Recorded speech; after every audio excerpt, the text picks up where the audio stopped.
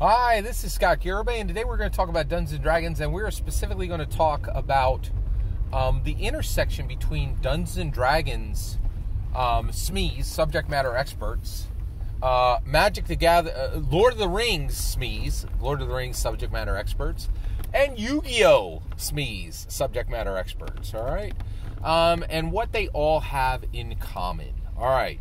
So I'm going to rep- I'm going to present a new word today. I I, re- I love language, and I think it's important for dungeon masters to present the world with new language because a lot of the language we have is antiquated and cruel.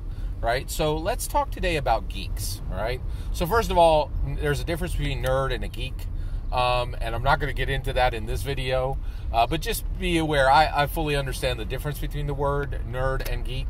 But currently, uh, and then and many people who use both terms, oh, you nerd or you geek, they're used as pejoratives, and I think that's that's really bad, and we need to change that. So today is I'm going to try to change that. I'm going to explain to you why I'm concerned with these with the terminology that we use for these groups.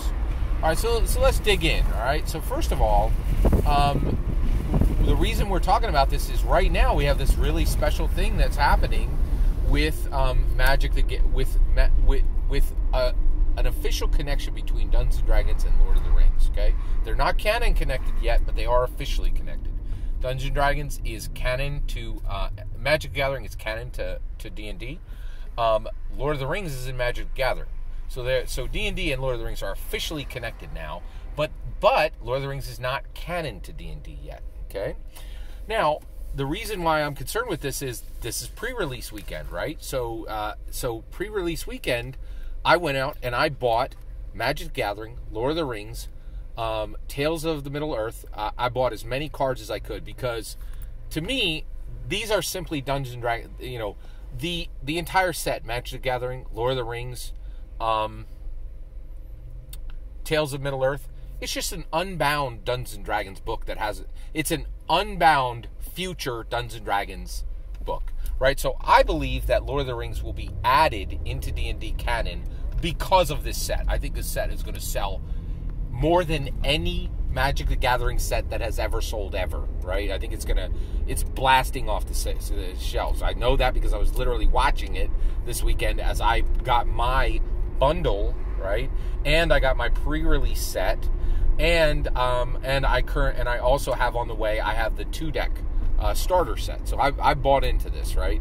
And I'm buying these because, in my opinion, this entire set is simply an unbound future Dungeons and Dragons book, right? Uh, Hasbro has shown that they introduce a set, and then there's a high probability that that set will come in uh, will come in officially as D and D canon later, right? And Lord of the Rings, this this looks like a no brainer. Like they literally use Dungeons and Dragons on the cards as they build it out, right? It's it's you know to me this is a no brainer. It's officially connected. Lord of the Rings and Dungeons and Dragons are officially connected at this point. I think they will be canon connected in the near future, probably within two to four years, right? Um, yeah, I think we'll have a canon Lord of the Rings red ampersand on the side book uh, within two to four years. And I'm excited about that. I think it'll be really, really exciting, right? But right now, you know, the um, I'm, I'm buying these up to use them as D&D components, right? So I went to get my bundle at my FLGS, right? Well, I walk into the FLGS and I'm expecting, I'm actually hoping to see, and the, the pre-release, they're between the pre-release. Actually, their pre-release is at 6 p.m. that night um, at the FLGS, right? And I had pray and and so I'm coming in and it's around 4 p.m. and the whole place is filled with Yu-Gi-Oh players, right? And I was like, oh yeah, I forgot these guys. hang, you know, they own and in my FLGS, in one of my local uh, FLGSs, the the um, the the Yu-Gi-Oh players own Saturdays. They they literally own the entire day, right? And and the FLGS and like you you can't squeeze in because the because these Yu-Gi-Oh players are jam they're jammed from corner to corner in this place playing Yu-Gi-Oh, right? So I come in and I'm grabbing my Magic Gathering Lord of the Rings uh, Tales of Middle Earth, comp- which I'm using as D and D components, and these guys are all playing, you know, uh, Blue Eyes White Dragons, right, and uh, Dark Wizard, and you know, and and Yu Gi Oh himself cards, right, and it's really interesting. And I was thinking, you know, oh, it's good to see these people. And at first, I was like, you know what? Like, I wish this place was filled with Magic the Gathering players because they're they're linked to Dungeons and Dragons. But then I realized we're all pretty much the same. And how are we linked? So we are all quant lores. You want to know how to spell that? It's in the title. Quant lore. Okay. So what is a quant lore? So first of all, what is a quant? Okay, uh, Q U A N T, and then and then no space. It's all one word. L O R E. Quant lore. Okay, it is the word quant and the word lore put together, right? And to form a new word, which I have coined, coined called a quant lore, right? What is a quant lore? So first of all, what is a quant? A quant is a term in finance for someone who works the numbers and deals with the number aspects of products and platforms and services, right?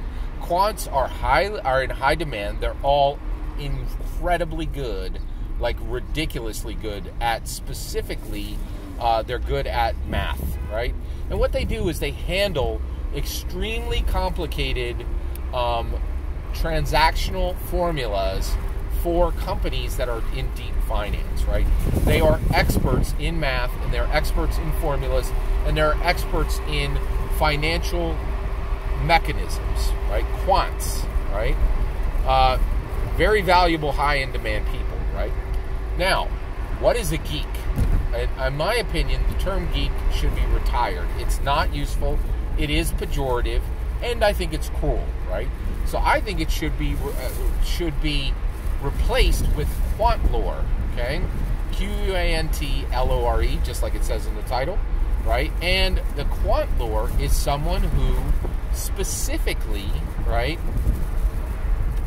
Uh, a quant lore is someone who who intakes the lore of an intellectual property, the lore of Lord of the Rings, the lore of Dungeons and Dragons, the lore of Yu-Gi-Oh, and is a subject matter expert with high expertise in, in dealing with the mechanisms of that lore, the trappings of that lore, and the formulas of that lore. Yes, there are narrative formulas, right? And so basically, a quant lore is someone who is a subject matter expert, has expertise in using the mechanisms of lore, the detail is highly invested in the details of lore, and can do things with lore, a quant lore.